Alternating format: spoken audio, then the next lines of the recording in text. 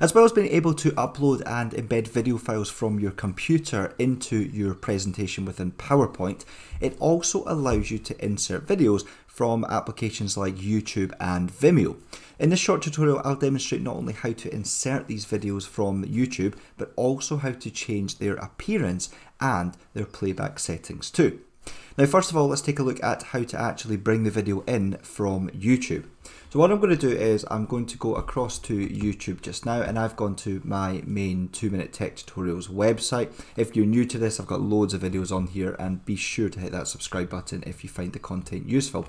But what I'm going to do is locate one of these videos here. Now it doesn't really matter which one I bring in, but seeing as this video is on PowerPoint, let's bring in one of these videos here. So here's a video on compressing files within PowerPoint to reduce their size. I'm just going to simply right click on the video title here and I'm going to use copy link address which is basically going to copy the link to the video. So now what I'll do is I'll head back into my PowerPoint session here and I'm going to go to the insert tab at the very top and then right the way along to the right hand side to video.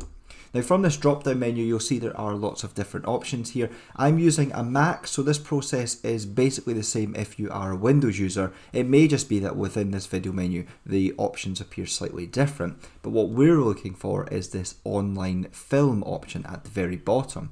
So when I click on that, it will then ask me to paste in the URL for my video, which we have already copied. Now, if you were bringing a video across from Vimeo, it would be exactly the same process. You would just have to copy the video URL from that particular site. But anyway, I'll paste this in here. So we now have the YouTube URL for that particular video, and I'll simply hit insert. And this will now insert this video into my presentation. Now one thing you need to be aware of is that if you bring in a video from YouTube or Vimeo, it must be a public video, it cannot be unlisted or private. And because it's not fully embedding it into the presentation, you will require a live internet connection to play this video back. So if you're sending this presentation to somebody or playing it at a festival or an event, you'll need to have an internet connection to actually play the video.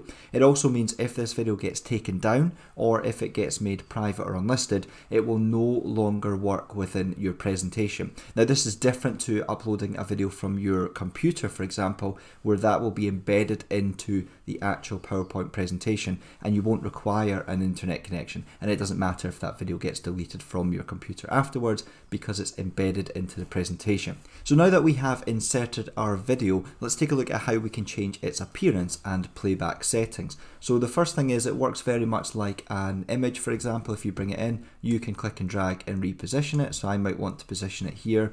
I'll then maybe look to just resize it a little bit and pop it here.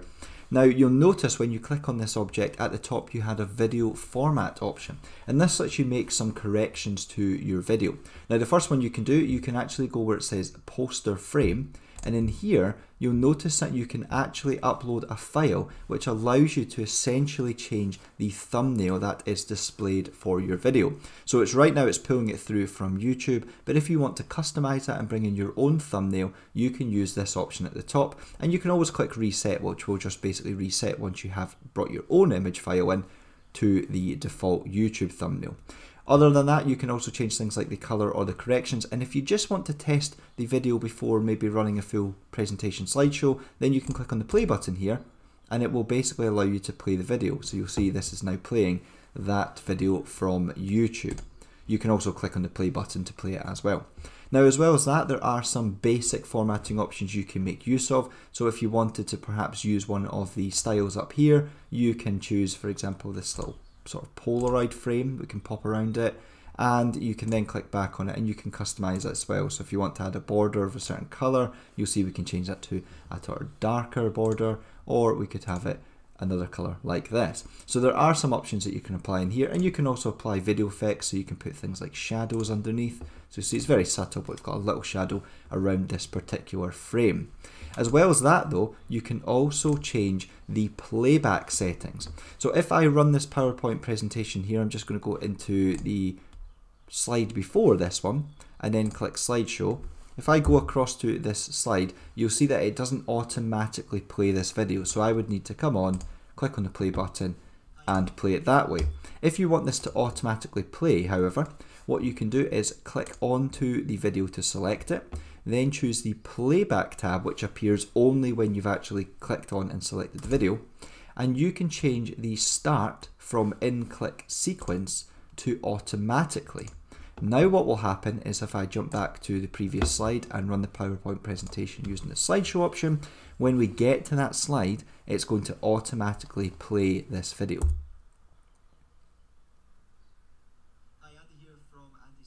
So you'll see the video plays. Now it doesn't work quite like if you bring a video in yourself because what you can normally do from the playback options with a video which you've uploaded from your computer is you can actually set it to play in the full screen. So it will automatically play and go full screen. And you've got some other options such as um, trimming and adding fades. But because this is basically a video being streamed across from YouTube, we're a little bit more restricted here. But I think it is useful being able to automatically start the video when you get to this particular page.